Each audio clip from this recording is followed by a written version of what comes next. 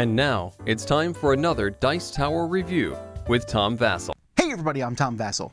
Today we're going to talk about three games. One about vampires, one about demons, and one about zombies. Let's start with vampires. We're actually going to do these games from best to worst.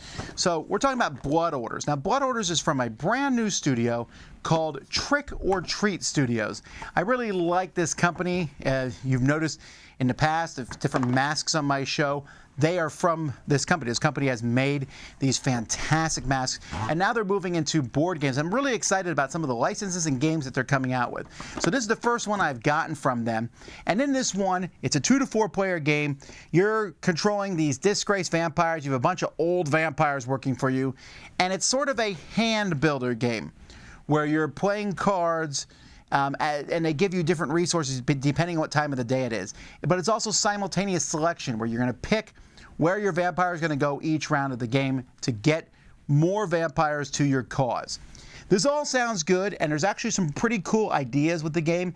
There's a few problems with the game. The biggest one is that it's a little clunky. It's a little clunky for the things it does. Like you're picking, you're picking how your cards are played in what order, and you put down which quadrant of the city they're in on a token. Then you reveal that token, and you have to have it rotate in the right spot. And then there's a little bit more take that in this game that I would prefer. I mean, I guess it makes sense that vampires are going after each other, but I think this will appeal to some people. Um, I just found it a little longer than I wanted it to be, a little bit more take that in your face than I want it to be, and a little clunky. I, I, I, like the artwork. I like the theme. I'm not a big vampire fan, but I like the theme of this one. But I'm looking forward to seeing what their next game is. This one, I think, I would give a 6 out of 10. Okay, now moving to zombies. Zombie Princess. This one here, I'll just start out with the rating, 4 out of 10. And I'll tell you, there's a lot of things I don't like about this game. So in the middle, first of all, the game is not that interesting, really. You have a board that looks like this, and in the middle, you build a little castle, and you have this ugly zombie princess in the middle, and then you have your characters. And on your turn, you put a tile out somewhere on the board that lets the and rotate a tile that lets the zombie princess move and you're trying to make the zombie princess go after other people and then you're trying to get your key grab your key and then get to the middle. First of all we've seen this game done so many times these maze games and stuff's rotating and moving and there's sliding of tiles and whatever.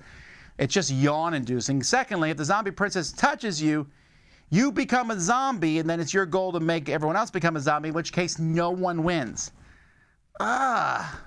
So if I lose, I'll make you lose too. I really hate that mechanism. But that on top of this, really boring. Stop making games with moving hedges and moving mazes. They've been done to death. I don't know. It's a pretty big box for a game I didn't really care for. But that pales besides my slight hatred for this next game, Hungry Little Demons. Okay, so the only thing I like about this game is I like the artwork of the cooks. It has demons, and it has, oh my word, this game's terrible. So at the beginning of the game, you set up a grid of cards.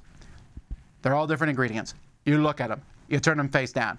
Got to remember where you're going. And then you are turning over cards, you're moving stuff around to turn over cards to fulfill your recipes, but also you're sending your demons to your opponents, and all you're doing is just messing them up.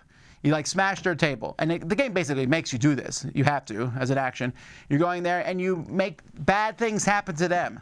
And let me read these things because I was like, I was mind boggled. So you can move a demon in someone else's house and then destroy a piece of their furniture. If you destroy someone's bed, you steal an ingredient from that person. Has to be an ingredient that's part of one of your recipes. Okay, great. If you destroy their chair, you send them all the way back to their house because they're moving around trying to collect resources. If you destroy their table, choose an ingredient and they have to get rid of that ingredient. So that, take that, not to mention the game looks pretty bad. I mean, there's the, the forest and the ingredients. It doesn't look that great on the table. But I will say this this one here I would give a 3 out of 10 to. But realize I'm, I might be alone on this. I went to Board Game Geek, a repository of board game reviews. And every review there, except one was a 10. One was a 9, the rest were 10s. So what do I know? Now, granted, all those people who gave it a 10 have not given any other game a rating. But again, I guess I'm just not on board with this one. I really wanted to like this game because I thought the idea sounded fun, getting ingredients and running your demons around, but it is a take that game that tells you to take that and then adds memory to it.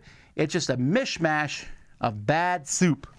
So demons are worse than zombies, which are worse than vampires. This is the only one that I think I could see people getting, but even then, get a copy of the rule book and read through it before you do so. Those are three games. Until next time, I'm Tom Vasel, and you've been watching the Dice Tower. See you next time.